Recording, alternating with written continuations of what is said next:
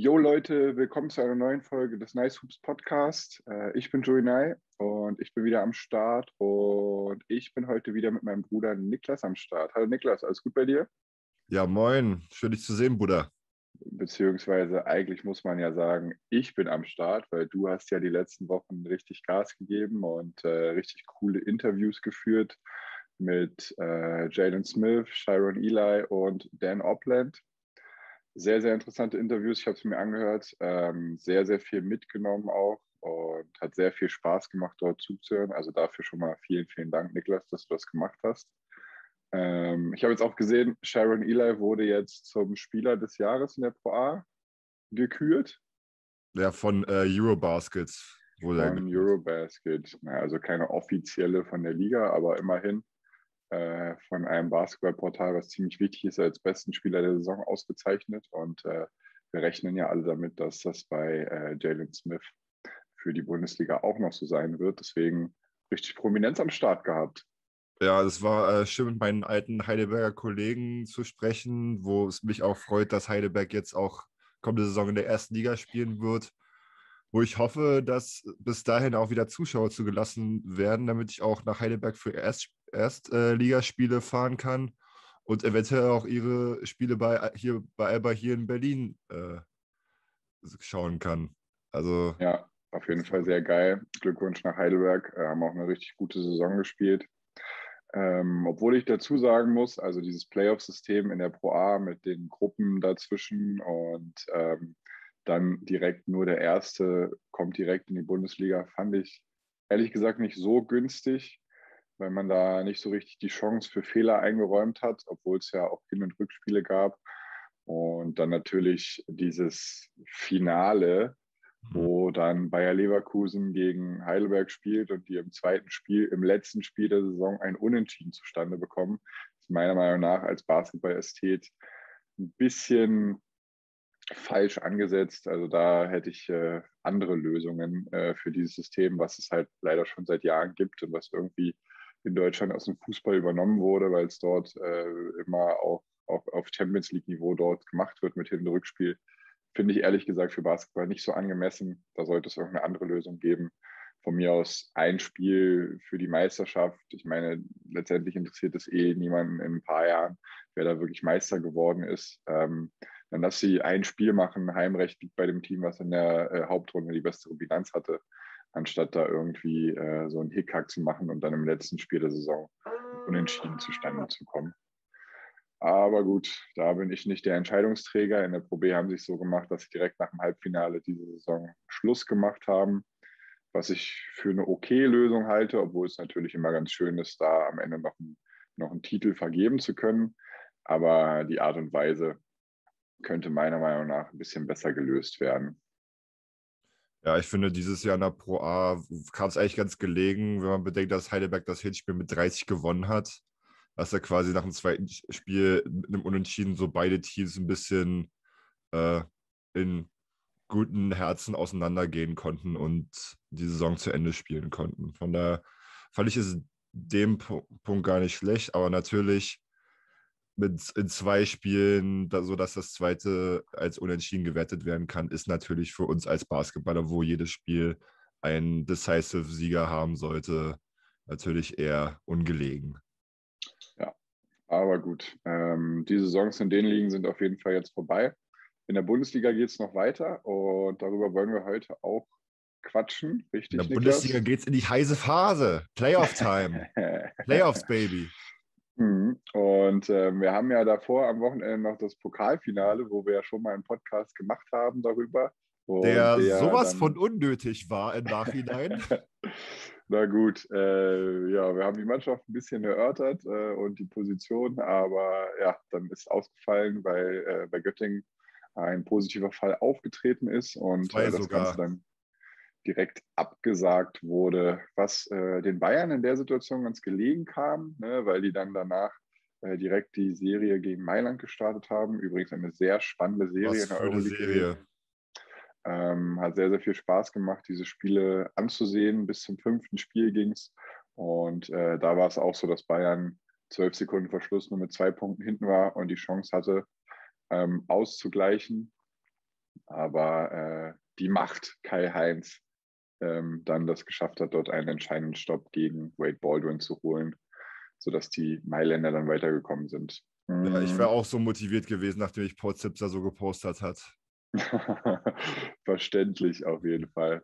Ähm, ja, das äh, ergibt meiner Meinung nach und auch deiner Meinung nach, Niklas, hast du ja äh, schon mal im Vorgespräch irgendwie gesagt, für Bayern eine ganz neue Situation fürs Wochenende.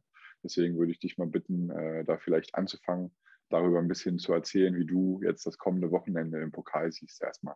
Genau, mein, meine originalen Picks war ja ein Finale Bayern gegen Alba. Allerdings muss ich sagen, Bayern, äh, seitdem sie aus der Euroleague rausgeflogen sind, haben natürlich ihre besten Spieler nicht in der Bundesliga haben spielen lassen, sondern haben jedes Spiel so vier, fünf Go-To-Guys ausgesetzt, was dazu geführt hat, dass sie gegen Alba und gegen Ulm sich mega Klatschen abgeholt haben. Und Mit Absicht vielleicht? ja, ob man das als Wettbewerbsverzerrung äh, bezeichnen kann, sei mal in den Raum gestellt. Auf jeden Fall ist für mich halt deshalb im Hinblick auf dieses Wochenende ist mein Anblick für das Abschneiden Bayerns deut hat, hat deutlich gelitten. Mhm. Vor allem zudem, weil Ulm weiterhin ihre Siegesserie ausgebaut haben und sich noch diesen deutlichen Sieg gegen Bayern abgeholt haben, weshalb ich meinen originalen Pick für dieses Wochenende ändern würde, nämlich mit einem Ulm-Team im Finale gegen Alba. Oh, interessant, auf jeden Fall. Krass. Ja. Das hätte ich nicht gedacht. Ich hätte eher gedacht, äh, dass du darauf ausgehst, dass die Bayern jetzt Kraft haben, dass sie jetzt ausgeruht sind nach den Euroleague-Strapazen und ähm, sich verschiedene Spieler, wie du schon gesagt hast, eine Pause gönnen konnten und die jetzt nochmal diese Woche richtig gut trainieren können und dann am Wochenende ähm, fokussierter daran gehen, weil ähm, sie ja jetzt diesen Euroleague-Titel oder dieses Euroleague-Final Four nicht mehr im Kopf haben und jetzt noch zwei andere Titel ausstehen, die sie auf jeden Fall realistischerweise gewinnen könnten.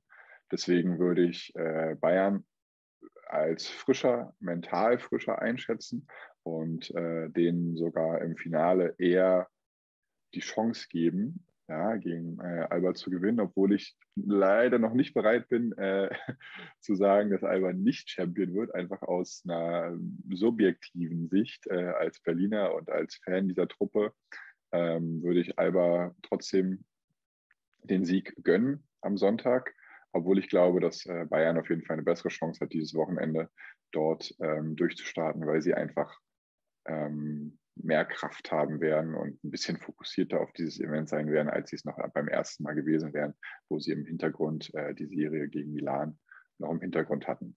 Aber gut, ähm, das, das, ist die das Spannung ist des Pokals. das, das, ist das andere Extreme, was natürlich einsetzen kann. Das ist, mhm ich glaube, das kann niemand so wirklich vorausschauen für dieses Wochenende. Ich habe halt das Gefühl, dass Bayern immer noch diesem U-League-Ausschein hinterherhängen wird mental und sich deshalb gegen Ulm nicht in einen Rhythmus spielen werden kann. Mhm. Ähm, das ist natürlich äh, sehr, sehr valides Argument, weil gerade Wade Baldwin oder Lucic haben jetzt einfach seit zwei Wochen kein, kein Spiel mehr gespielt oder seit anderthalb Wochen. Da äh, kann schon das, der Rhythmus ein bisschen drunter leiden, obwohl ich glaube, dass äh, Trinkieri dort im Training auch die entsprechenden Impulse vor dem Wochenende setzen wird. Deswegen ähm, gehe ich auf jeden Fall mit Bayern im Finale und äh, würde mich nicht wundern, wenn die das Ding auch äh, nach Hause bringen. Aber gut. Ähm, ich gehe mit Ulm ins Finale und sage, dass Alba Pokalsieger wieder wird. das äh, wünsche ich mir auch, dass Alba Pokalsieger wird. Aber wir werden sehen. Direkt die Woche danach, am Mittwoch sogar schon, glaube ich, äh, beginnen dann die Playoffs. Du hast ja gerade schon über die letzten paar Spieltage geredet. Ähm, FC Bayern München die letzten drei, nee, die letzten zwei Spiele verloren. Ähm, und da direkt meine Frage, haben Sie mit Absicht abgeschenkt? Schwer zu sagen. Ich, also man kann das natürlich so argumentieren, dass sie ihren jungen Spielern mehr Zeit, also ein bisschen Spielzeit geben wollten und im gleichen Zug ihre Go-To-Guys von der Euroleague-Serie zu schonen. Aber ja, das ist natürlich schwierig, wenn man jetzt vor allem als Ulmer Team vielleicht jetzt auch äh, besseres Standing hat dadurch oder halt auch äh, dass man als Alba, wobei als Alba gegen Bayern gewonnen hat, haben ja die Go-To-Guys gespielt und da hat ja Alba mehr als deutlich gewonnen. Oder mhm. nee, da haben sie auch nicht gespielt, oder? Naja, die ersten zehn Minuten, das erste Viertel haben sie ein bisschen durchgezogen, aber danach hat Trinkieri Leute wie äh, Baldwin, Sipsa, Sealy und Lucic nicht mehr so oft aufs Feld gelassen. Ja, das, äh, ja, das deshalb ist sehr schwierig zu sagen. Also äh, es wäre so ungefähr wie die Situation damals bei uns in der Pro A mit Baunach, wo die teilweise nur mit der B-Mannschaft von der B-Mannschaft angetreten sind, weil die ganzen jungen Talente bei Bamberg äh, im Einsatz waren. Mhm. Deshalb ist es sehr schwierig, da das Thema Wettbewerbsverzerrung so direkt anzusprechen. Es wird Leute geben, die sehen das so. Es gibt, wird Leute geben, die sagen, es ist doch legitim, dass sie ihr Roster halt äh, für ma manche Spiele umstellen, den Umständen entsprechend. Deshalb ist es eine unfassbare Grauzone. Also man sieht das ja auch öfters, äh, gerade auch, wie du sagst, in den unteren Ligen, dass da irgendwie Spiele abgeschenkt werden ähm, auf Kosten von, wir müssen mal ein bisschen Pause machen oder die Leute müssen woanders eingesetzt werden.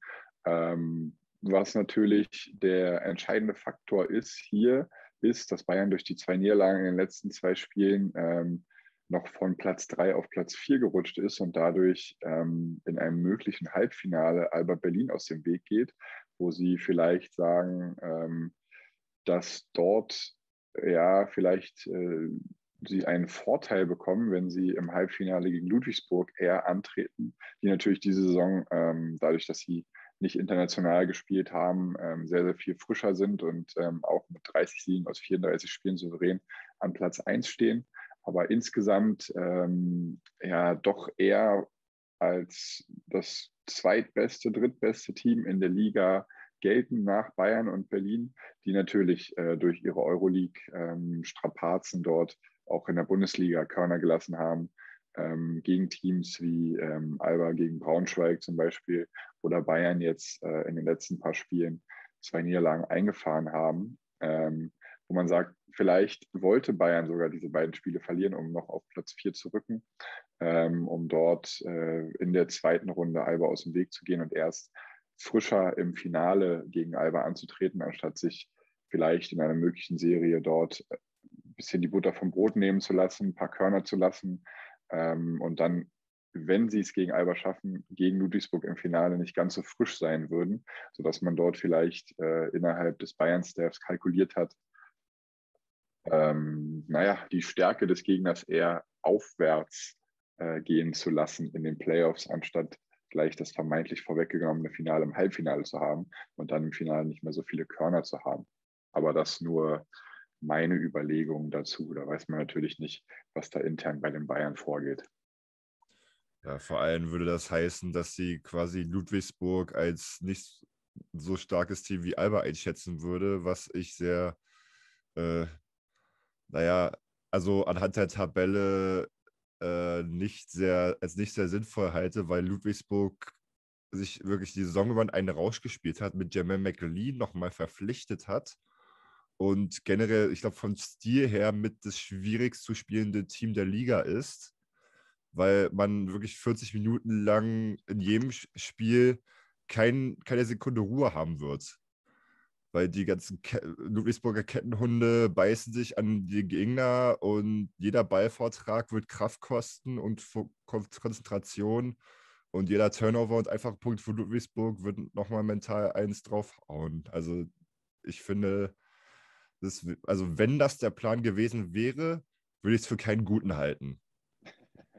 Naja, auf der anderen Seite hat Ludwigsburg auch äh, die komfortable Situation gehabt, in der Saison nur wirklich ins Wochenende zu spielen. Und jetzt in den Playoffs wird der Rhythmus auch ein bisschen tougher und äh, die Spiele rücken immer näher. Es wird alle zwei oder drei Tage gespielt. Und ich glaube schon, dass da selbst eine Mannschaft wie Ludwigsburg, die in der Saison als relativ ähm, fit und immer 40 Minuten Druck ausüben, äh, dahergekommen sind, hm, vielleicht schon dann an die Substanz geht und äh, auch mal Spiele hat, wo sie mental und körperlich ein bisschen durchhängen werden.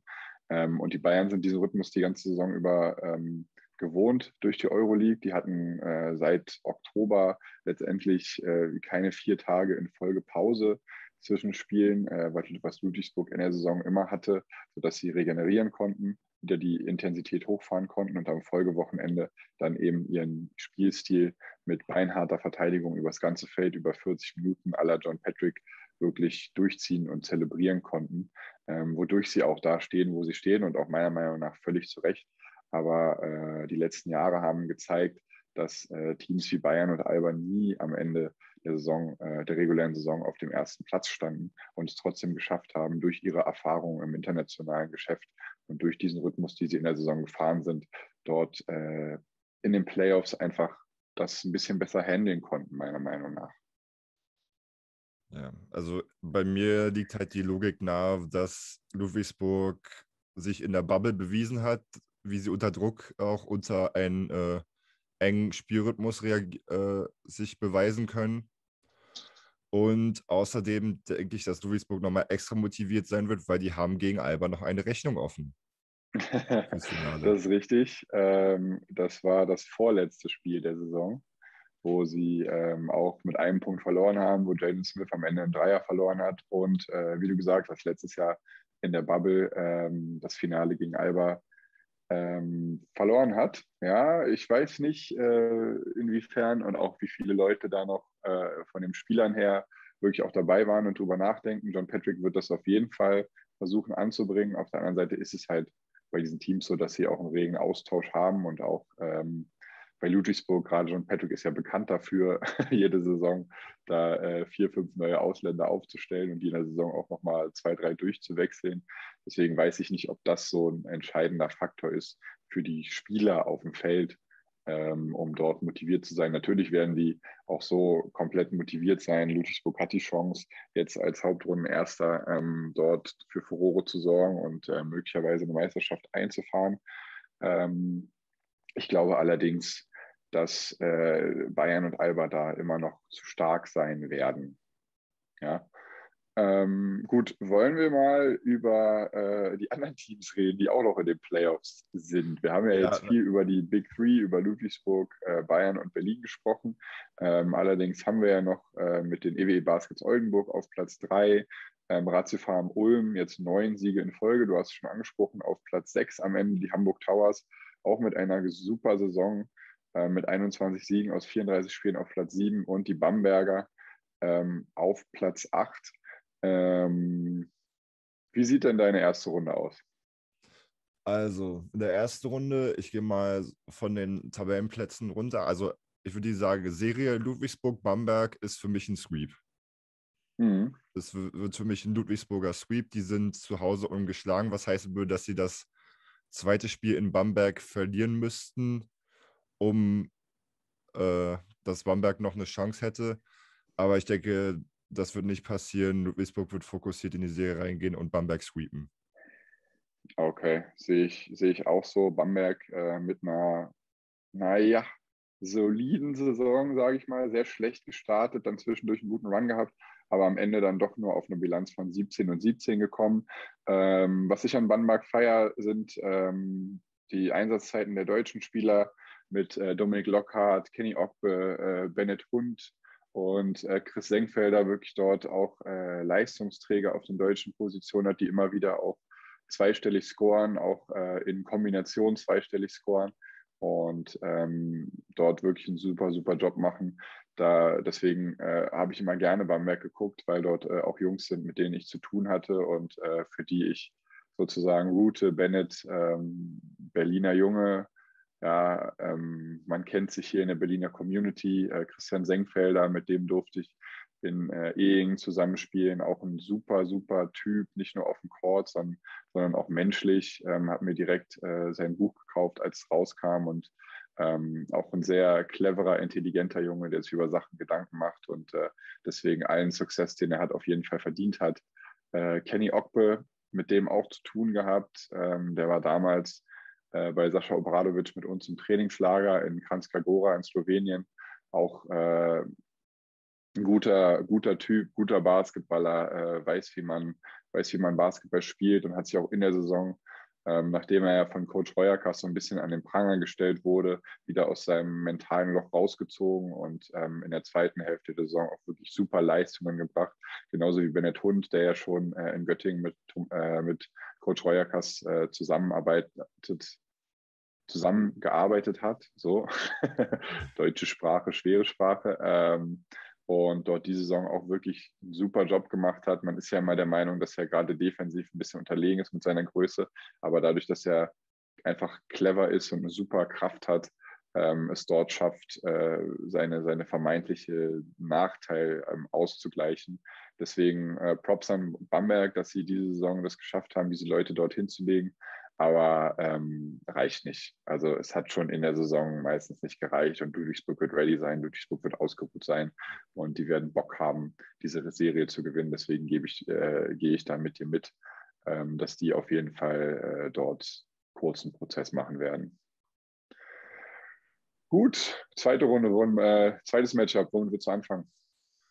Äh, ich würde also würd, würd gleich für, also auf den möglichen Halbfinalgegner für Ludwigsburg eingehen. Der wird in der Serie Bayern gegen Kreuzheim entschieden.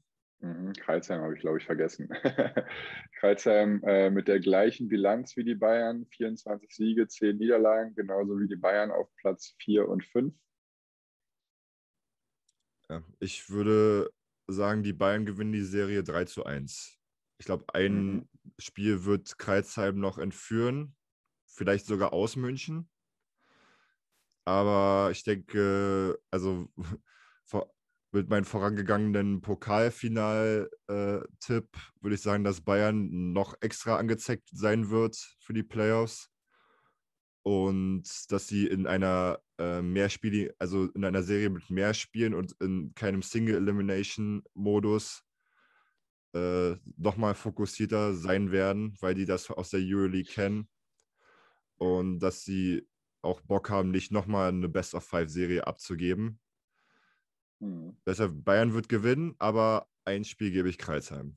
Ja, also äh, Kreisheim auch mit einer super Saison, äh, hatten ja die letzten Jahre immer wieder Probleme, sind ja auch äh, zweimal sportlich abgestiegen und haben es dann durch Umwege geschafft, in der Liga zu bleiben. Aber dieses Jahr hat äh, Coach Thomas Isalos geschafft, eine wirklich äh, schlagkräftige Truppe aufs Feld zu stellen, ähm, die auch teilweise an den Top 3 der Liga ähm, gekratzt hat und die es auch einmal die Saison geschafft haben, die Bayern zu schlagen. Ähm, und das andere Spiel nur sehr, sehr knapp verloren haben. Deswegen, die wissen, wie man gegen Bayern spielt und die wissen auch, wie man gegen Bayern konkurrenzfähig ist. Haben auch äh, mit Trey Bell Haynes äh, einen äh, Top 3 MVP-Kandidaten diese Saison, meiner Meinung nach, ähm, der als Anführer fungiert und der es schafft, seine Mannschaft super zusammenzuhalten, sowohl mit Punkten als auch mit äh, Korbvorlagen äh, dort immer wieder vorangeht und dort die Truppe auf Kurs hält. Ja, aber wie du schon sagst, ähm, die Bayern werden jetzt fokussierter sein. Aufgrund des einen oder des anderen Szenarios ist ja egal. Auf jeden Fall äh, werden die ready sein und werden gucken, dass sie dort ähm, so schnell wie möglich durchkommen, weil ähm, Resting war diese Saison für die Bayern nicht so angebracht. Und deswegen werden sie jetzt in den Playoffs versuchen, jedes Spiel, was sie nicht spielen müssen, auszulassen.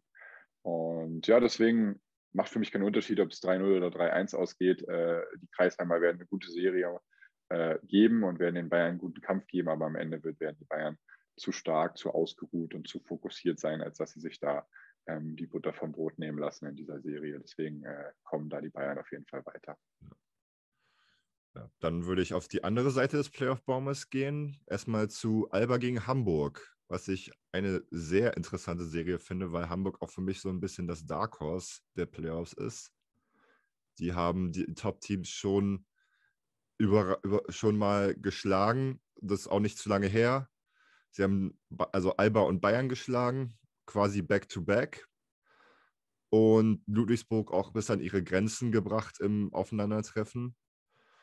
Deshalb wäre ich nicht überrascht, wenn diese Serie komplett bis zu einem Spiel 5 gehen wird, mhm. dass dann Alba gewinnt.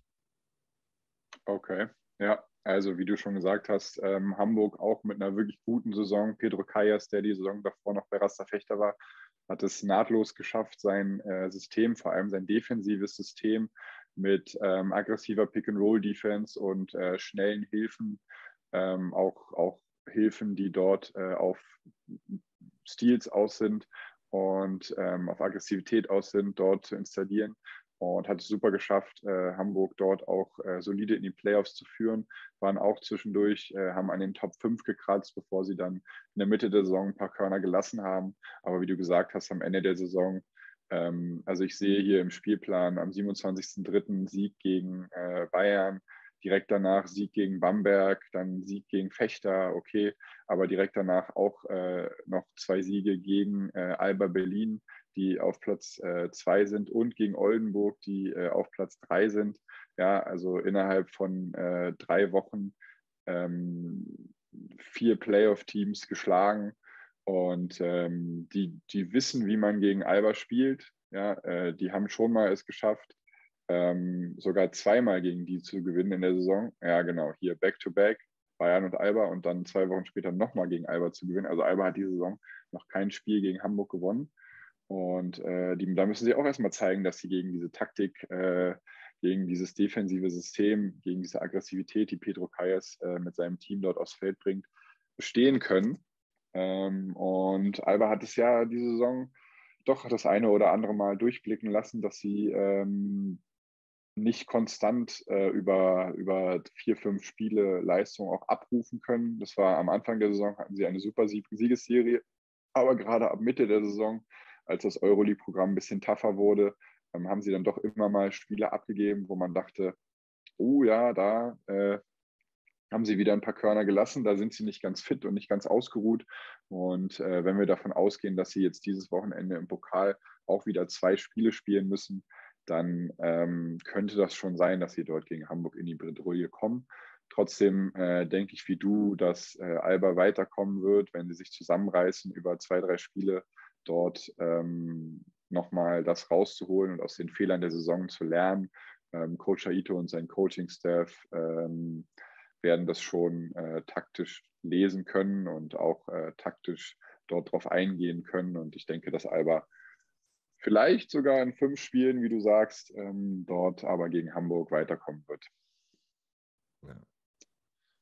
Dann sind wir bisher auf einen guten Konsens. Jetzt ist in der letzten Serie, kann ich mir gut vorstellen, dass da die Meinungen auseinandergehen können, weil Oldenburg gegen Ulm ist ein sehr, sehr mega enges, enger, mega enges Matchup. Hm. Also ähm, genau, gerade zwischen Platz 3 Oldenburg mit 25 Siegen und Platz 6 äh, Ulm mit 23 Siegen. Da ist in der Siegesbilanz nicht viel Unterschied. Ähm, Ulm hat am Ende der Saison nochmal einen richtigen Sport hingelegt, neun Siege in Folge, um die Saison zu beenden. Ähm, die sind heiß und die haben Bock und äh, wie du sagst, wenn sie es am Wochenende schaffen, auch nochmal dieses Emotionale dort umzumünzen und vielleicht eine Pokalüberraschung äh, zu zeigen, dann werden die nochmal Emotionalität ohne Ende haben, um in die Playoffs zu gehen. Und ähm, die können durchaus äh, diese Serie gewinnen. Oldenburg weiß inzwischen aber aufgrund ihrer Erfahrung und aufgrund auch des Spielermaterials, was sie haben, ähm, wie man dort agieren muss. Und ähm, da muss man sehen, ob so ein bisschen diese Recency Bias oder dieser Lauf, den die Ulmer jetzt haben, überschwappt, ja, oder ob das, das so ein bisschen auch das Ende war, dass sie jetzt gesagt, äh, also nicht gesagt haben, aber so emotional im Kopf dieses Szenario vorhanden ist, okay, wir haben jetzt eine geile Saison gespielt und wir haben jetzt irgendwie auch einen geilen Abschluss ähm, aber jetzt kommen die Playoffs, jetzt werden wir vielleicht ein bisschen nervös, vielleicht spielen wir nicht mehr so frei auf und äh, kommen deswegen dort ein bisschen in Bedrühe. Und auf der anderen Seite ähm, Oldenburg mit äh, Anführern äh, wie Ricky Paulding, wie Rashid Mahalbasic, die einfach wissen, äh, wie man in solch einem Szenario agieren muss, um dort erfolgreich zu sein ähm, und nicht sich auf ihr so, so Emotionalität und Euphorie verlassen, sondern äh, eher sich auf ihre Stärken ähm, besinnen und deswegen dort einen kleinen Vorteil haben. Deswegen schwierig, aber ich sage, Oldenburg wird es machen und Oldenburg wird es vielleicht sogar in weniger als fünf Spielen, vielleicht sogar mit einem 3 zu 1 ähm, dort durchgehen und ins Halbfinale kommen. Ja, dann gehen wir doch in der Serie in etwa dieselbe Richtung. Ich würde nicht sagen, dass nicht im Pokal äh, am Pokalwochenende wird Ulm seit langem wieder die erste Niederlage einfallen, sei es im Halbfinale oder im Finale. Und ich kann mir sehr gut vorstellen, dass da auch so ein bisschen dann auch die Luft raus ist. Weil wenn so lange gewinnt die erste Niederlage, das merkt man unterbewusst mental richtig. Mhm. Deshalb, also eigentlich die Serie verdient ein Spiel 5, das dann mhm. in Oldenburg stattfinden würde. Und also ich würde auch sagen, Spiel 5 in Oldenburg wird dann auch Oldenburg gewinnen. Okay.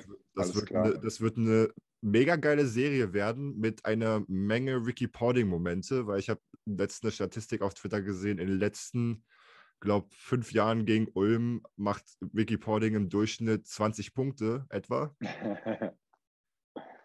Und da gab es auch in, vor ein paar Jahren in der Playoff-Serie gab es auch diesen einen Mega-Moment mit Ricky Pording, Dreier in der Overtime zum Sieg. Deshalb, da wird mächtig Feuer in die Serie. Generell in diesen Playoffs wird mächtig Feuer sein in einigen Serien. Wir haben ja schon gesagt, mhm. Alba gegen Hamburg, dann auch Oldenburg gegen Ulm.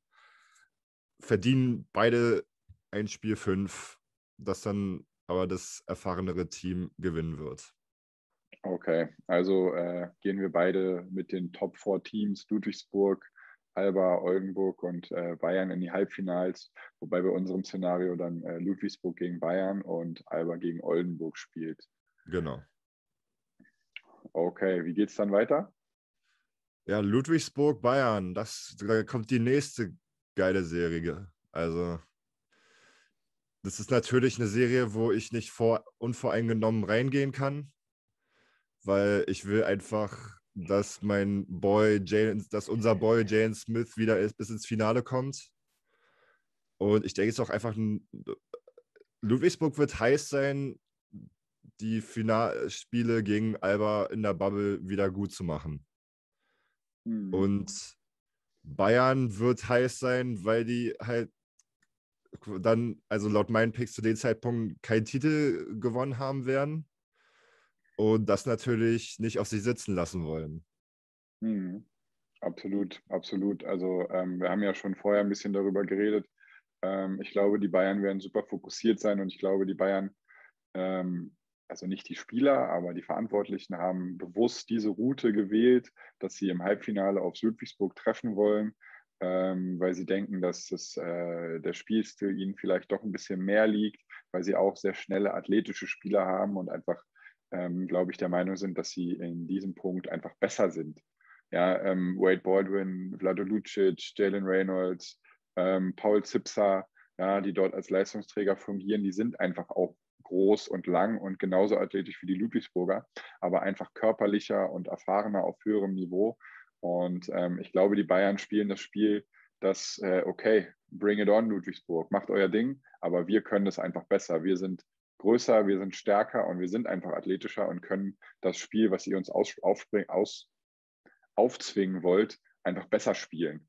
Und ähm, deswegen glaube ich, dass die Bayern dort ähm, wirklich auch vorangehen werden und äh, die Ludwigsburger ein bisschen auch auslaugen werden, weil sie, weil sie sie einfach matchen können ähm, in dem, was Ludwigsburg spielen will.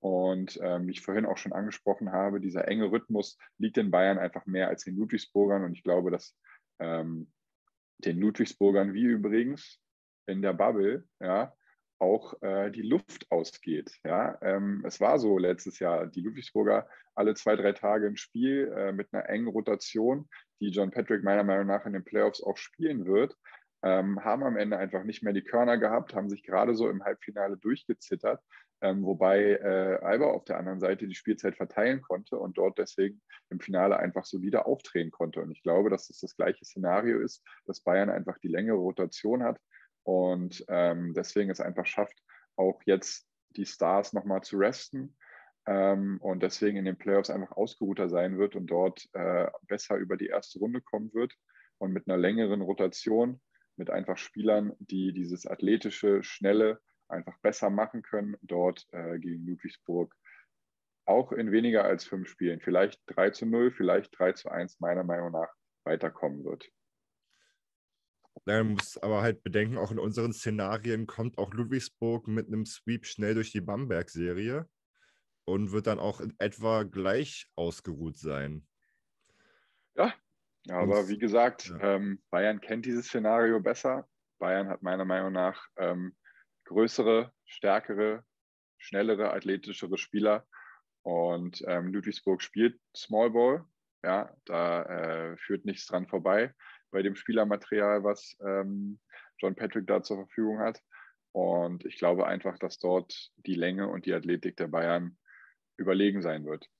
Ja, das ist, ich habe ich hab Angst, dass du recht hast.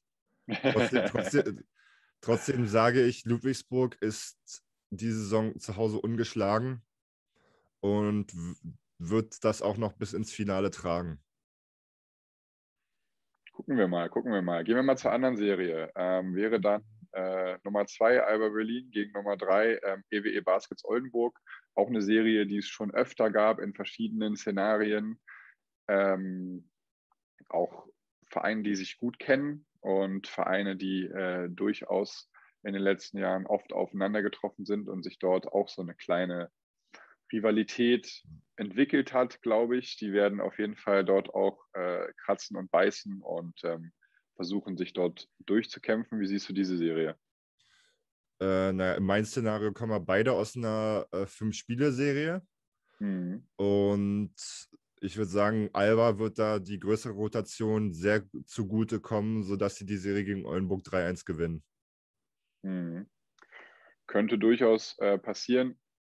Alba hat es ja die ganze Saison geschafft, die Minuten äh, gut zu verteilen und ähm, Oldenburg war auch in den letzten Jahren dafür bekannt, dass sie irgendwann die Rotation ein bisschen eingeengt haben und in den Playoffs ähm, viele Minuten auf äh, Leute wie Rashid Mahabasic, ähm, Martin Bräuning, ähm, Ricky Paulding verteilt haben. Ja, die haben natürlich ein gutes Team äh, mit Keith Hornsby, äh, Nathan Booth, da wirklich auch äh, gute Ausländer, mit Carsten Tada, dort auch äh, deutschen Spieler ähm, und Martin Bräuning, wie ich gerade schon angesprochen habe, äh, Spieler, die auch battle-tested sind, die wissen, wie man in den Playoffs agiert, ähm, die wissen, wie man auch in ähm, spannenden Spielen, in nervenaufreibenden Spielen agiert und haben da einfach auch Leute, die dort äh, das Ruder übernehmen können. Deswegen glaube ich nicht, dass Oldenburg hier mit äh, ohne, also ohne Sieg rausgehen wird. Die werden auf jeden Fall irgendein Spiel klauen. Die Frage ist nur, ob sie diese, diese Euphorie und auch diese, diese positive Einstellung, die auch Coach Mladen Bijancic immer wieder aufs Team übertragen kann, ähm, über eine längere Zeit gegen ein Albert-Team ähm, gehen können, die wirklich da fokussiert reingehen werden und für die das ähm, nichts Unnormales ist, die auch wissen, wie man in solchen Szenarien ähm, Spiele über die Bühne bringt und auch in knappen Spielen äh, die Ruhe behält. Und deswegen glaube ich, dass das äh, für Alba ein 3-1 werden wird. Ja. ja. gut, dann haben wir jetzt halt dieses Szenario, du hast dein eines Finale, ich habe mein anderes Finale. Na dann äh, rede du mal über dein Finale und dann ja. rede ich über mein Finale. Also mein Finale wäre die Neuauflage des Bubble-Finales, Ludwigsburg-Alba. Ludwigsburg kommt aus einer kräftezehrenden äh, fünf Spiele-Serie gegen Bayern, während Alba relativ ausgeruht durch ihre lange Rotation sich ein kleines Puffer verschaffen konnte weshalb ich auch denke, dass Alba diese extra Energie zugutekommen wird. Ob Alba es schafft, zwei Spiele in Ludwigsburg zu gewinnen, ist jetzt die Frage. Ich denke eher nicht. Ich denke, es wird zu, also ich denke, Alba wird. Ja, nee, doch, ich denke, Alba wird 3-1 gewinnen. Ich, glaub, ich glaube, das, erst, das erste Spiel geht dann, ich glaube, das erste Spiel geht dann Ludwigsburg das zweite an Alba, zwei Heimsiege. Dann wird Alba die Extrakraft zugutekommen im dritten Spiel in Ludwigsburg, wird dort das erste Mal seit langem wieder einen Sieg aus äh, Oldenburg entführen, äh, aus Oldenburg, aus Ludwigsburg entführen und dann zu Hause in Berlin die Meisterschaft gut machen im Spiel 4. Finde ich gut, finde ich gut, könnte ich mitgehen. Äh, allerdings glaube ich nicht, dass Ludwigsburg es ins Finale schaffen wird und äh, dort die alte Rivalität beziehungsweise die neue Rivalität, die es jetzt erst äh, seit ein paar Jahren gibt. Bayern gegen Alba ähm, von Anfang an, seit Bayern in der Bundesliga ist, immer wieder Reibungen zwischen den beiden Clubs. Äh, Marco Pesic, der Sportdirektor, ehemaliger Alba-Spieler, Svetislav Pesic, der immer wieder sich vor die Kamera stellt und die Bayern lobt, wie schon in der Serie gegen Mailand, wo er Mailand unfassbar runtergemacht hat. Das war schon lustig nicht, zu sehen. Was, war sehr lustig, aber was ich nicht verstanden habe. Aber gut, auf jeden Fall ähm, sieht man, wo dort die Sympathien liegen. Auch ehemaliger Alba-Trainer. dann äh, hat man mit, äh, ich glaube, Leon Radosovic ist inzwischen der einzige Spieler, der äh, bei, bei Alba und dann bei Bayern gespielt hat. Da haben Bayern äh, in den letzten Jahren. Ah ja, den hat man in der letzten Zeit nicht auf dem Feld gesehen. Mal gucken, ob der überhaupt äh, nochmal dann eingreifen kann. Ähm, aber genau, da gibt es auch immer wieder Übersteinungen seit Jahren. Ja, auch äh, Trinkieri, äh, früher Bamberg-Trainer, auch Reibungen mit Alba gehabt und sowieso mit allen sich anlegt, wieso auch immer. Über die ganze Temperament. Schon. Ja, ohne Sinn manchmal sich rausschmeißen lässt bei irgendwelchen Spielen, wo dann immer, ach ja, das macht er taktisch. Naja, weiß ich nicht, ob er das taktisch macht, wenn er es jedes dritte Spiel macht.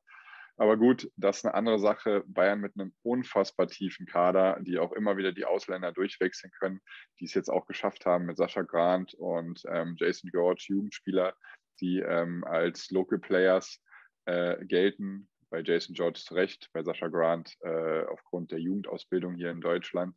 Ja, und da muss man gucken, ob da Leute wie ähm, Robin Amaze nochmal einen Impact machen können auf den deutschen Positionen und auch äh, David Krämer, ähm, der ja neu dazugekommen ist, ob der nochmal auch äh, ein bisschen Minuten geben kann über die Playoffs, ob die Rotation da äh, lang sein wird, auch in dem Finale, ob äh, Trinkieri sich traut oder ob er dann sagt, er nimmt Wade Baldwin, Vlado Lucic und die anderen und macht äh, Ride or Die.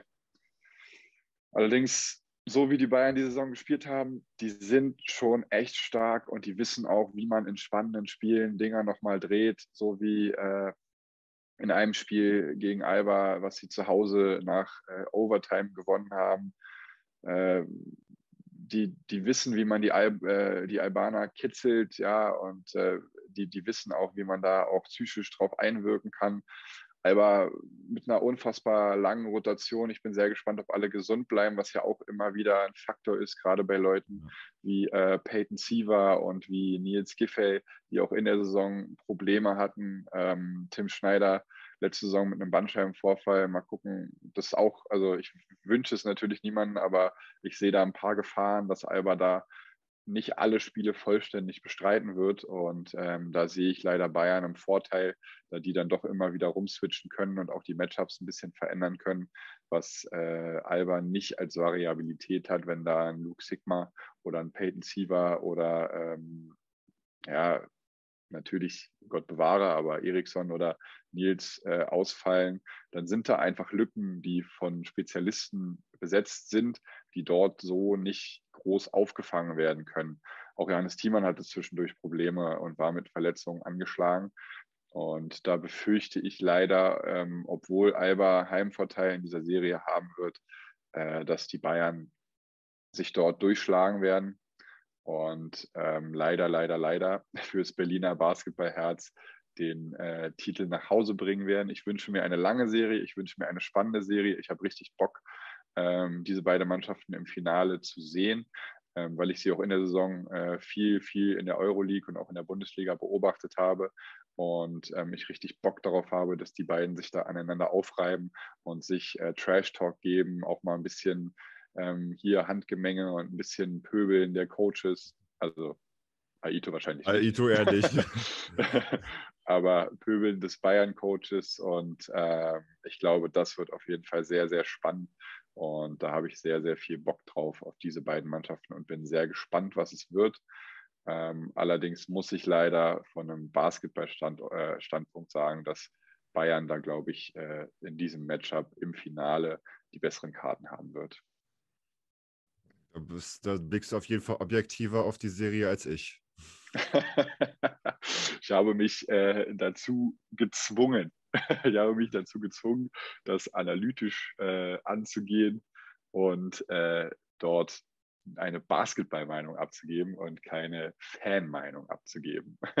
da werde ich wahrscheinlich von meinen Berliner Kumpels, wenn sie diesen Podcast hören, sehr, sehr viel Trash-Talk bekommen und äh, auf die Mütze bekommen. Aber dann tut es mir leid. Dann äh, möchte ich auch mal dahin gehen, dass ich äh, das so beurteile, wie ich es gesehen habe über die Saison und wie ich glaube, wie es sich entwickeln wird. Und dann müssen wir leider, was auch immer passiert, damit leben. Ja, man, man muss auch mal anecken. Man muss auch mal anecken. muss auch ein bisschen Kontroverse hier mit reinbringen. Auf jeden Fall. Das muss ja auch mal ein bisschen interessant sein hier. Ja, also nur, man, muss, man, muss, man muss auch äh, hoffen, dass äh, das böse C-Wort nicht die ganzen Players auch in der Bundesliga einen Strich durch die Rechnung macht. Ja, das ist allerdings richtig. Äh, die Bundesliga, also die Liga, hat ähm, Konzepte hingelegt für die, ähm, für die Möglichkeit, dass dort äh, Leute sich infizieren in, den Serien und äh, geben dort eine gewisse Toleranz ja, aber auch sagen bis zu bestimmten Deadlines, wenn dort die Serien nicht gespielt werden oder bis wenn dort die Spiele nicht gespielt werden, dann werden die Spiele auch abgegeben und mit 20 zu 0 für die andere Mannschaft gewertet. Ähm, ich hoffe es natürlich nicht und ich glaube auch, dass äh, gerade weil es jetzt darum geht, äh, sich dort auf Kurs zu halten, ähm, dass die Spieler sich zusammenreißen werden und nicht nochmal rausgehen werden, in diesen Playoffs und irgendwie ähm, sich der Gefahr aussetzen werden. Ich kann mir sogar vorstellen, dass ähm, Teams sich wirklich innerhalb äh, der Wohngebäude, wo sie ihre Spieler unterbringen, komplett verschan zu verschanzen haben und auch dort äh, ihre Meetings abhalten werden und ähm, auch vielleicht gar keinen Raum lassen werden für ähm, einkaufen gehen, für irgendwelche Ausflüge oder sowas, dass die wirklich sagen, okay, wir müssen jetzt mal hier vier Wochen die Füße stillhalten und ähm, alle Meetings finden in der Halle statt. Von mir aus Essen wird gecatert in die Halle. Ähm, das kann ich mir schon sehr gut vorstellen, dass dort ähm, diese Szenarien auch stattfinden werden und dass dann auch ähm, auf Auswärtsfahrten die Hotels komplett ähm, dort ein Stockwerk gemietet wird oder was auch immer, sodass dort äh, gar nicht erst die Gefahr aufkommt. Aber ich bin sehr gespannt, weil dieser Virus ist leider unberechenbar und äh, wir haben ja schon beim Pokalfinale gesehen, da kommt man in die Halle, ist bereit zu spielen und dann wird man wieder nach Hause geschickt. Mhm. Und dann müssen äh, Mannschaften auch mal zwei Wochen komplett in die Quarantäne. Und wenn das passiert, dann weiß ich nicht, wie sehr die äh, Liga dort noch Toleranz äh, walten lassen wird und wie sehr sie sich darauf einlassen wird, dort äh, ein alternatives Szenario noch äh, zu spielen und wie lange sie diese Playoffs dann strecken werden. Ja, auf jeden Fall wird, werden diese Playoffs wie alles momentan wird das erste Mal in dem Modus so stattfinden und es wird auf jeden Fall spannend sein, wie sich das entwickelt mit, wie gesagt hast, mit Verletzungen, mit äh, Infektionen, Gott bewahre ich hoffe echt, dass wenigstens die BBL-Playoffs so, äh, so glatt wie möglich von der Bühne gehen, nicht so wie die Pro A und Pro B-Playoffs. Hm, Aber ich denke Fall. mal, dass da auf jeden Fall die Strukturen und dass da auch äh, genug, auch genug Geld dran hängt, dass sich die Leute einfach auch äh, mal so durchsetzen, diese Konzepte ja. mal für eine Zeit lang einzuhalten. Ja, bin auf jeden. Fall sehr gespannt, habe sehr viel Bock aufs Wochenende und sehr viel Bock auf die Playoffs. Und ähm, ich hoffe, es werden sehr, sehr viele spannende Serien. Ich hoffe, es wird äh, sehr, sehr viele Emotionalität, sehr, sehr viel Intensität von allen Mannschaften aufs Feld gebracht. Und ähm, dann werden wir sehen, wer von uns beiden recht haben wird in der Finalkonstellation. auf jeden Fall. Es wird auf jeden Fall einige Instagram-Posts darüber geben. Also am Wochenende das Pokaltop vor, wie auch beim letzten Mal geplant auf Twitch. Ich werde diesmal leider nicht im Chat dabei sein, weil ich habe das Wochenende schon anderweitig geplant. Und ja, dann, ich wünsche euch, wir wünschen euch viel Spaß beim Pokal gucken und dann auch viel Spaß beim Playoffs gucken, in der Hoffnung, dass die Playoffs alle ohne Probleme über die Bühne gehen. Auf jeden Fall. Ich bin sehr gespannt und ähm, ich hoffe, alle Zuhörer haben auch richtig Bock und sind sehr gespannt auf den Basketball, den wir hier in Deutschland jetzt in den nächsten Wochen noch sehen und zelebrieren dürfen. Klar. Dann, das war es von mir. Weiß, hast du noch was hinzu, hinzuzufügen? Auf keinen Fall. Ich wünsche euch äh, ein wunderbares Wochenende. Bleibt gesund und äh, genießt den Basketball, den wir noch sehen dürfen. Haut rein. Ciao, ciao.